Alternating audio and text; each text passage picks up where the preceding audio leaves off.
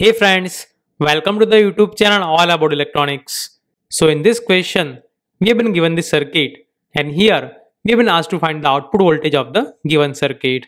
So in this question, we have been given that all the transistors are identical and they have a very large value of the common emitter gain beta. And here we have been also given the relationship between the base emitter voltage VB and the collector current IC. So here we have been also given that the voltage at this node or this Vp is equal to 0.7 volt and the thermal voltage is equal to 26 millivolt. So here we have been given that the voltage at this node is equal to 0.7 volt. Now if you see over here then all the transistors are the diode connected transistors meaning that here the collector and the base terminals of these transistors are connected together. That means the voltage at the collector and the base terminals will be the same. And here the emitter terminal of these transistors is connected to the ground terminal.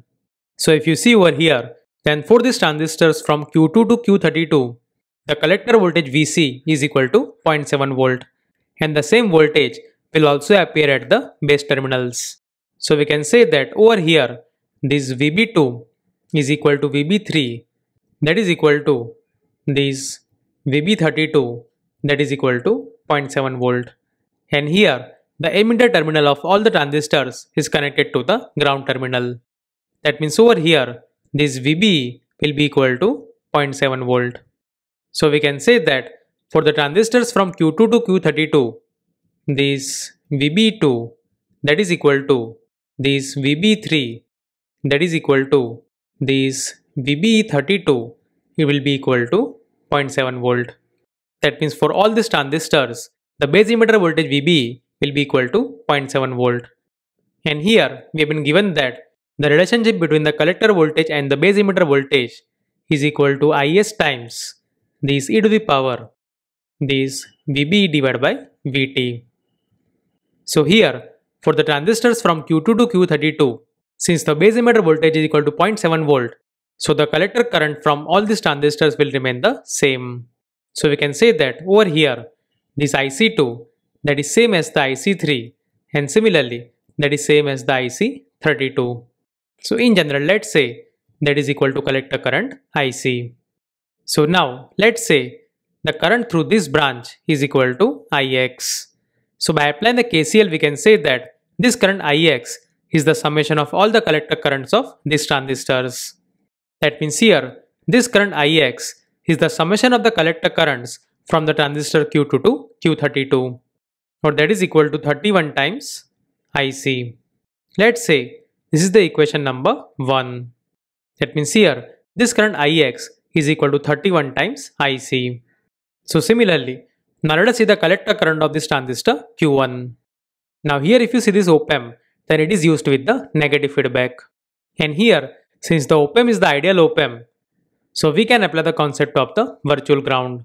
That means here, the voltage at this V minus or the inverting terminal of the op-amp will be same as the voltage at the non-inverting terminal. Or in other words, we can say that for this given op-amp, this V minus is same as the V plus. So here, if you see this voltage V plus, then that is same as the voltage which is appearing at the base terminal of this transistor Q1. Or in other words, that is same as the voltage VBE1. So we can say that over here, this V minus is same as the V plus and that is equal to this VB 1.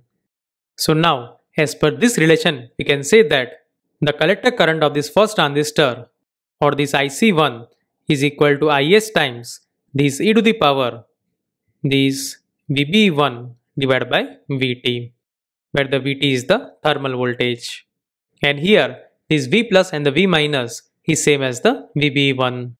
Moreover, the voltage at this node is equal to V out. So we can say that this current IC1 is equal to this V out minus this VB1 divided by 20 kilo ohm. That means here the current which is flowing through this 20 kilo ohm resistor is same as the IC1 because here since the op-amp is the ideal op-amp so no current is flowing into the op-amp terminals and therefore this current IC1 will be same as this current. So similarly Now let us find the current through this another 20 kilo ohm resistor. So once again, the voltage at this node is equal to VBE1. So we can say that this current is equal to Vout minus VBE1 divided by 20 kilo ohm. Or if you see this current, then that is same as the current Ix. So we can say that this current Ix is equal to Vout minus this VBE1 divided by 20 kilo ohm. And the same current will also flow through this 5 kilo ohm resistor. So further we can say that this current is same as this VB1 minus Vp divided by 5 kilo ohm where this Vp is equal to 0.7 volt and we know that this current Ix is equal to 31 times Ic. So we can say that this 31 times Ic is equal to Vout minus this VB1 divided by 20 kilo ohm that is equal to this VB1 minus 0.7 divided by 5 kilo ohm.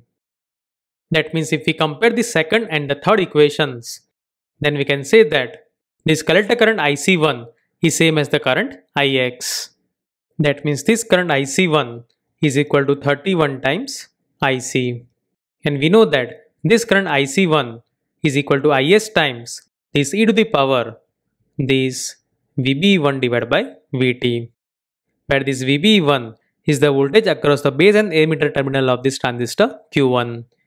And similarly, this IC is equal to this IS times e to the power this 0.7 divided by VT. Because for this 31 transistors, this VB is equal to 0.7 volt. So here, this IS will get cancelled out on both sides. And further if we simplify it, then we can write it as this 31 is equal to this e to the power this VB1 minus 0.7 divided by VT.